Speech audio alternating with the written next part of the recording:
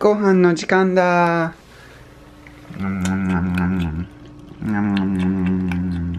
おいしいおいしいおいしいおいしいおいしいおいしい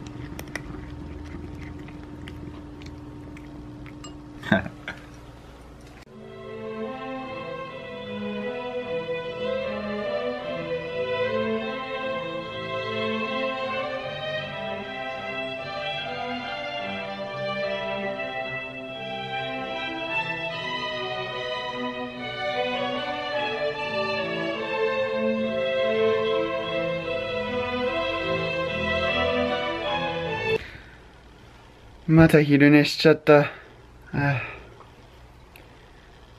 あ、もう6時過ぎか。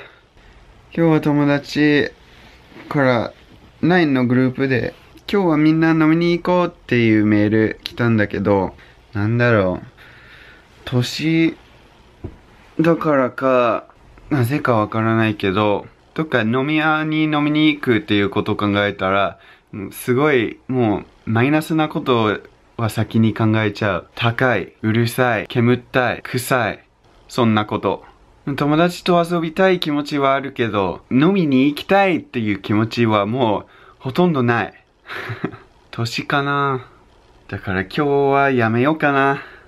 友達に申し訳ないけど、あ、友達見てくれてるかもしれないからちょっと友達に話します。こっち。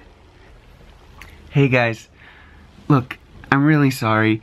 It's not that I don't want to hang out with you guys. I really, really do.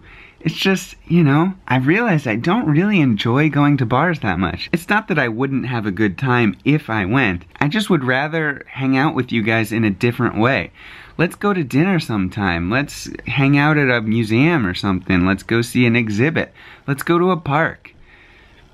Not a freaking bar. They're expensive, smoky, beer is not that great, noisy, and I'm sorry.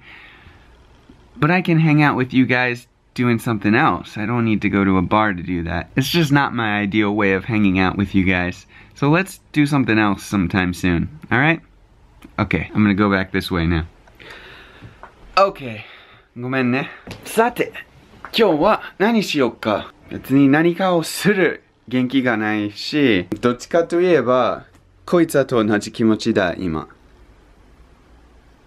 ということで、今日はうちで何か美味しいもの食べて、美味しいビール飲みながら映画見ようかな。DVD とか。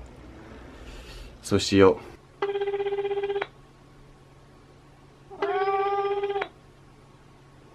はい、ジャンボリーです。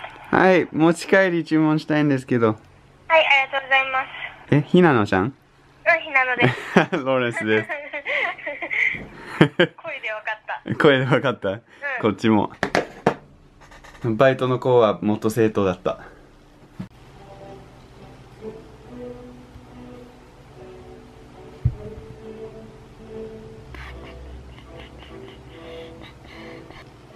OK。